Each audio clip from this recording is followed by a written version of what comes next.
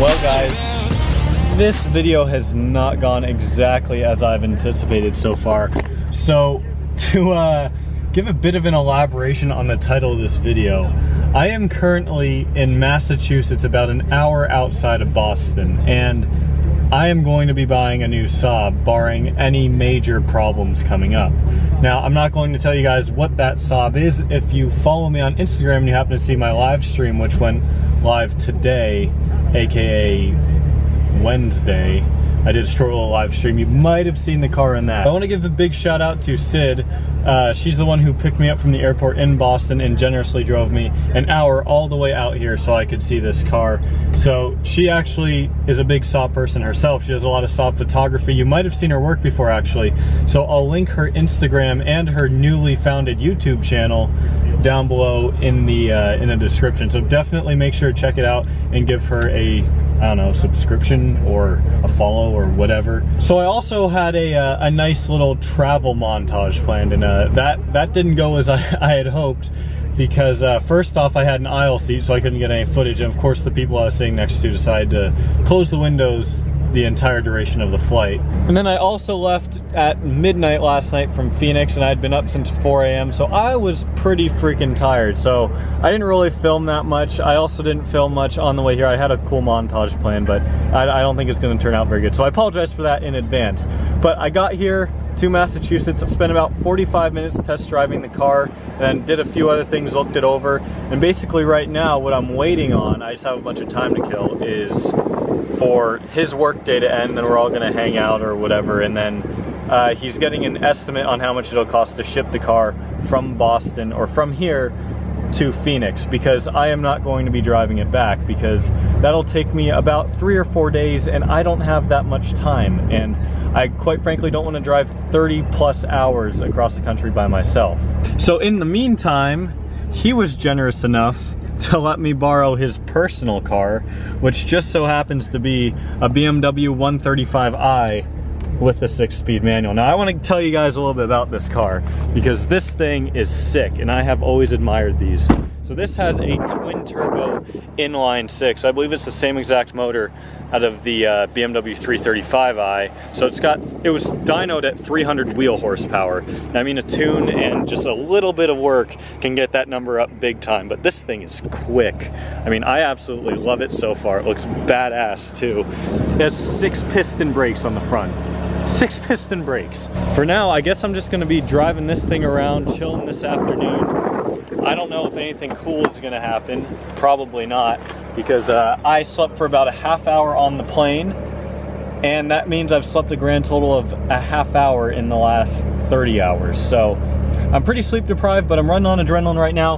I'm excited. Later today, we're gonna have a hangout. We're going over to uh, another big Saab guy's house. He's apparently got a pretty sweet Viggen. So I'll probably film a little bit of that if I can. Then tomorrow, there's actually a Saab meet. Not a Saab meet, but there's a big car meet where a bunch of Saab should be going.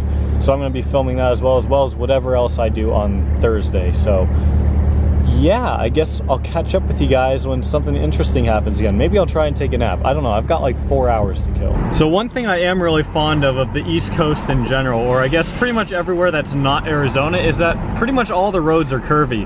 Now that makes it very impractical for getting a lot of places quickly, but it means it's a lot more fun for driving. It's not, everything's not all straight with the exception of a couple roads.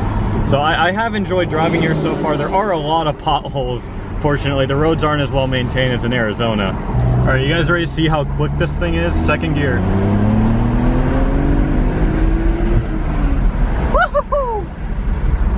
My God, trouble holding the camera and focusing.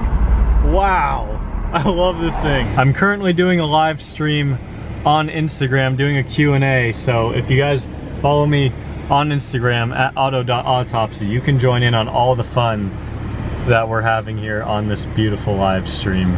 This has probably been the worst vlog so far. It is now Thursday morning. I really need to stop doing this whole vlog thing because I'm just terrible at it. But, uh, so update on what happened. Yesterday I ended up killing a lot of time uh, ended up going back to his dealership and then we headed back to his place. He's been extremely generous and courteous. Um, he's allowing me to stay at his house even so I don't have to pay for a hotel. He's still letting me drive his freaking car. I love this thing. But anyways, so went back there and then we actually met up with another big Saab guy. Uh, he's got a really, really sweet Viggen. Now, uh, we went, we all went to get dinner. On the way I rode in his Viggen, it's got a built motor, so it's a 2.4. And I mean, that thing torque steered like freaking crazy and it is in beautiful condition. So that was a ton of fun. I'll go ahead and play a nice clip of him ripping through the forest right now.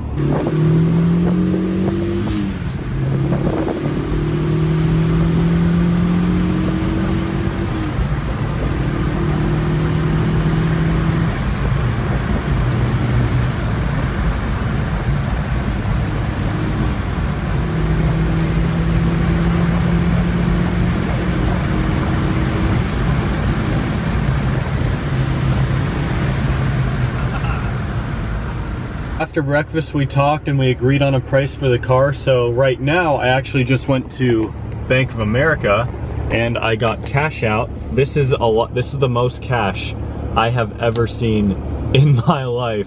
This is freaking crazy, guys. I do not trust myself with this money. Thankfully, I'm only about five minutes away from the dealership, so I don't have to hold it for long.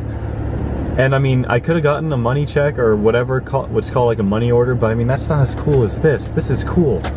If you guys did join me for my one of my two live streams yesterday, I did actually accidentally say what I bought. So by now that live stream is now off my Instagram, but if you did catch it, then good for you. I've had a few DMs and stuff, people guessing what it was, and uh, actually a lot of you are right, which I figured you would be, but I am so excited. So hopefully as soon as I get back to the uh, dealership, uh, we can sign all the papers and get the title and bill of sale and everything. And I keep saying dealership, but let me uh, just say this is actually being this is actually a private party sale. He works at a dealership. The car's been at his dealership. We're just doing everything at the dealership. So then later today, I'm hoping to get a lot of good shots of the car. Now I'm not sure if I'm really going to be able to drive it because he can give me a dealer plate for it, but they might need the dealer plate for his dealership. So I'm going to try to convince him to at least let me take it out for an hour or two. I don't think I'm going to be able to bring it to the meet that we're going to later, but uh, I guess time will tell. So I'll film what I can. I'm not gonna film anything when we're doing the paperwork because I just feel like that's kind of rude. But uh, yeah, I'll catch up with you guys after the car is in my name. I'm so excited. You guys are going to shit your brains out when you see what this car is. I am in love. So the car is officially mine and it is sitting right over there, right in front of me, but I am not going to show it to you. Um, turns out, unfortunately, at his dealer, they only have a couple dealer plates and they have to use them both today to go pick up some cars from auctions and whatnot. So I cannot drive this legally because it doesn't have any plates. You can't do a temporary registration in Massachusetts. For some reason, they don't have temporary plates. So I'd either have to go register it to be able to drive it or just not drive it until I leave tomorrow morning. So I figure uh, I just parked it in a nice spot over here and took a lot of great pictures, got a little bit of b-roll. The reveal video will be delayed just a little bit. I had plans for it to come out next Wednesday, which would be my next upload from this one, but because I can't film that before I leave because I can't really drive it, uh, it's gonna have to wait. So, of course, as soon as I get the car in Phoenix, which it should be in Phoenix within a week, so I'll get on that as soon as I can and then we'll have that reveal video out. Until then, I'm gonna try not to splurge and tell you guys what it is, but like I said, you guys are going to love it. I am so in love with this thing already. Okay, hold up. I just need to point out how much I love the Northeast because there's a V6 Aero Vert right here and I like never see these in Arizona. So even though this is like an everyday sight for people out here, I stopped and looked at this for like a solid two or three minutes It's automatic, but I mean, it's still, still freaking sweet.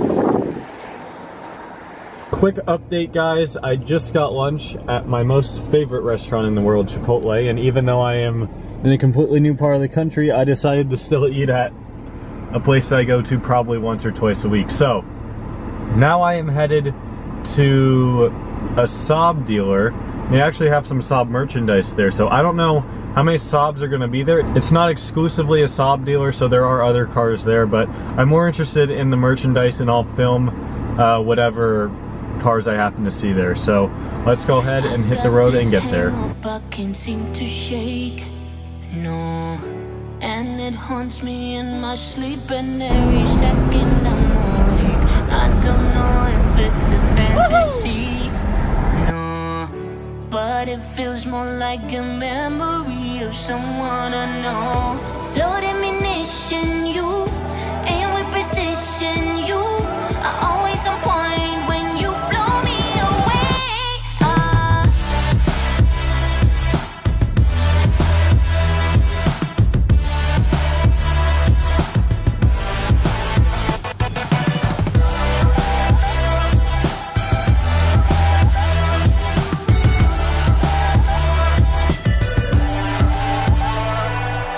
Well, that was uh, extremely disappointing. I'm just here at the dealership. There's a nice 9-3 part next to me.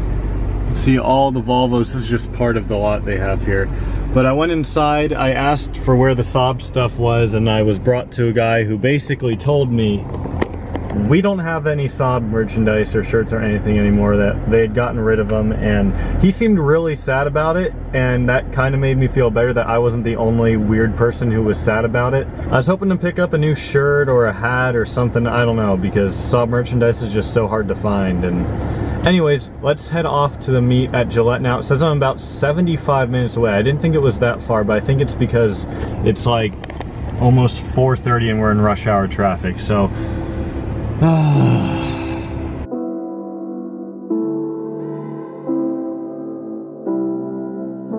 It's been a while since I've been to the East Coast and I've forgotten just how beautiful and green it is here. I mean, despite the terrible, terrible, I mean just deplorable infrastructure of all these cities, I, it, it, it looks nice. I'll give them that. It's beautiful here.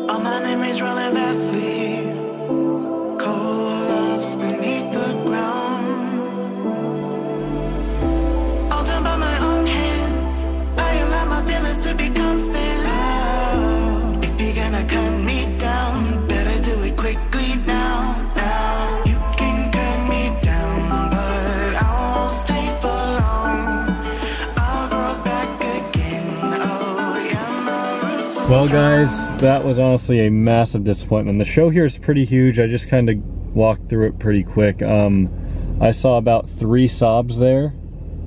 Uh, none of them were really parked together. I kind of got the impression there'd be a bunch of Saabs parked together and a big kind of hangout, but I guess not. So I, uh, I'm headed back now. There wasn't really much to film. Um, yeah, that was a pretty disappointing experience, but now I guess I'm gonna drive this home, or not home, but back to uh, back to the place where I'm staying for uh, for another 50 minute drive, and then and then I leave tomorrow morning. So honestly, this trip has been really fun, but this is kind of a uh, disappointing and irritating end for now, but still a great trip.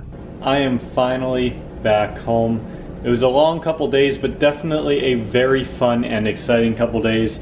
So the car is supposed to be leaving Massachusetts tomorrow, which is Saturday, which is most likely the day that you are seeing this video.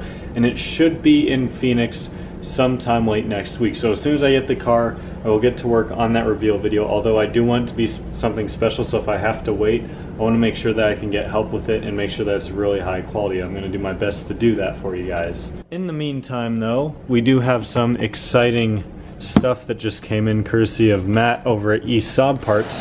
He generously sent my dad two brand new brake rotors for his 9-5 Aero.